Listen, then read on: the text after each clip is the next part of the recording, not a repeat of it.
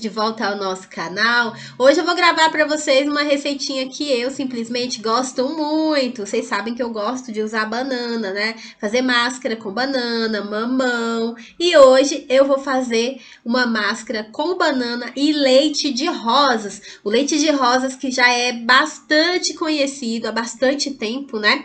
Então é bem fácil de encontrar e é super acessível. Você vai precisar de um pedaço de banana. Se a sua banana estiver mais mais madura que essa aqui, gente, é melhor, tá bom? Por que que eu falo isso?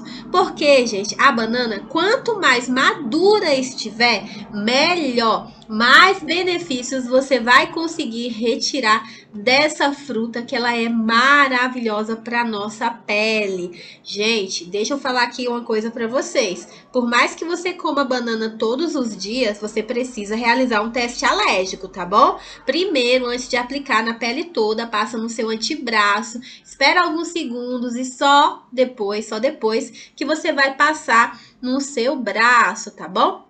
E agora nós vamos fazer o que, ó? Nós vamos colocar aqui dentro, né, do recipiente e vamos adicionar uma tampinha ou uma colher de sopa de leite de rosas, tá bom? É isso que você vai adicionar. Pode utilizar até a própria tampinha, dá uma agitada, né, porque fica concentrado no fundo e assim você vai estar tá aproveitando mais. Agora é só você misturar. Enquanto eu estou misturando, eu quero saber se você já deixou o meu joinha. Já deixou? Ainda não? Então ainda dá tempo, gente. Deixa agora, porque se você deixar para o final, eu sei que você vai esquecer.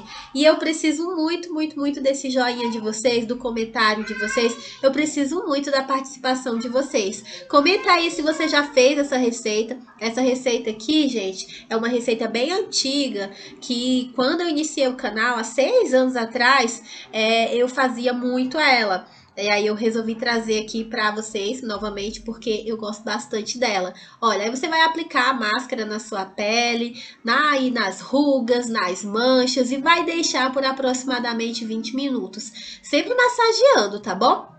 E aí depois você vai retirar. Retira com água, com lenço umedecido, fica aí a sua é, escolha. Eu vou ficando por aqui. Se ficou alguma dúvida, deixa nos comentários. Faz isso aí três vezes na semana, com um mês, volta aqui e me conta, tá? Eu quero saber como que tá a sua pele.